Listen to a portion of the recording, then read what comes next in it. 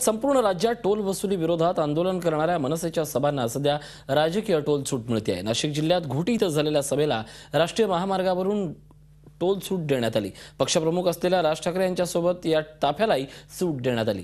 सरकारनं सर्वसामान्य नागरिकांना टोल भरणं सक्तीचं केलं असताना आचारसंहितेत राजकीय सभांना टोलमधून सूट का दिली जाते असा प्रश्न सर्वसामान्यांना पडला आहे या टोल नाक्याच्या व्यवस्थापकांची बातचीत केली आहे आमचे प्रतिनिधी योगेश खरे यांनी. लोकसभा निवडणुकांच्या पार्श्वभूमीवर पहिल्यांदाच राज ठाकरे यांची सभा झाली ती नाशकामध्ये. नाशिकच्या घोटी परिसरामध्ये ही सभा झाली आणि त्याच्या जवळचा राष्ट्रीय महामार्ग क्रमांक तीनवरचा टोल मात्र पूर्णपणे सुरक्षा या ठिकाणी लावण्यात आली होती. जर टोलची तोडफोड झाली तर काय? यासाठीचा हा प- पूर्ण सुरक्षा व्यवस्था होती. आपण यांच्याकडून जाणून घेऊया.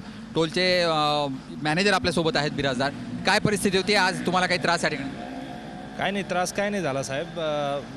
टोलची सगळी व्यवस्था चांगली होती. चांगली असल्यामुळं तर साहेब येऊन पूर्ण पोलीस प्रोटेक्शन होतं त्याच्यामुळं सगळं व्यवस्थित झालं काय नाही.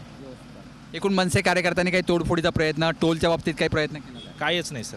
काहीच नाही सगळं व्यवस्थित सहकार्य झालं सगळ्यांचं. एकूण त्यांना त्यांना टोल किती आकारण्यात आला किंवा काय हे केलं?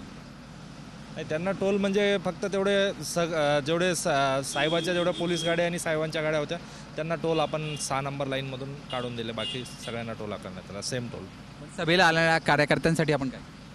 सभेला आलेल्या कार्यकर्त्यांना सगळ्यात मेन म्हणजे जे सभेला राज ठाकरे साहेबांच्या जे काय सभेला आलेले कार्यकर्ते होते तेवढे जेवढे त्यांच्यासोबत होते तेवढ्यांना आपण फ्रीमध्ये खेळलं बाकी नंतर. एकूणच राज ठाकरे यांच्या सभेला आलेले जे काही श्रोतूवर्ग होता कार्यकर्ते होते त्या सर्वांनाच टोल माफी देण्यात आली आहे. त्यामुळे एकूणच मनसेला राजकीय टोल सूट मिळते हे मात्र या लोकसभा निवडणुकीत स्पष्ट झालं आहे video journalist Sonu भिडेसह Yogesh Khare Zee media Igatpuri Nashik.